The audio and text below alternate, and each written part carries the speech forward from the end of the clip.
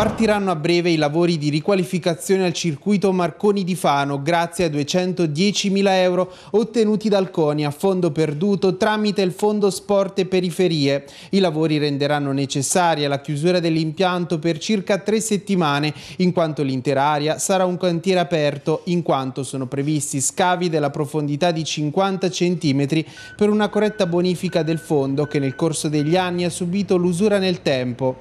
Nello specifico la riqualificazione riqualificazione riguarderà la cordolatura esterna, sistemazione dell'asfalto ammalorato e la sistemazione della ricinzione e della vegetazione.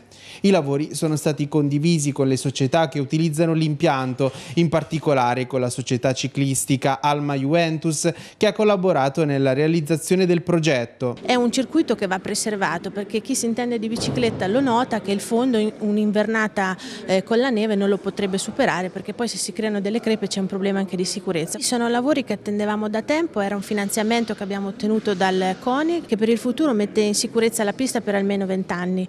Il circuito Marconi lo conoscete tutti, nella zona più bella di Fano, la zona sportiva della Trave, sicuramente ci sarà un disagio di almeno tre settimane, quindi invitiamo tutti a trovare che location per correre e eh, ricordiamo che invece gli allenamenti del baseball e dell'atletica sono garantiti dal, dai due passaggi.